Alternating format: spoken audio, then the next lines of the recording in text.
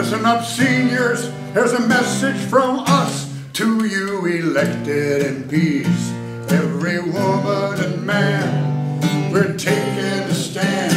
And here's what we demand. Stop the subsidies, fund the people. Stop the subsidies and fund the people. We could wring our hands and cry, as so many people try, but that method's proved not to be a strong one. We could beat around the bush, as so many people do, but that's proven ineffective in the long run. At the cost of being annoying, we'll get right to the point. Stop the subsidies, fund the people.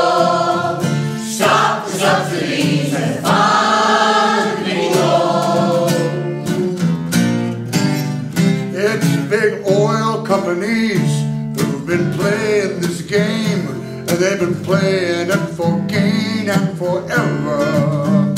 They shake all the right hands, they're a mighty foe. But we can make this work by working together. It's our votes you're courting, and if you want our support,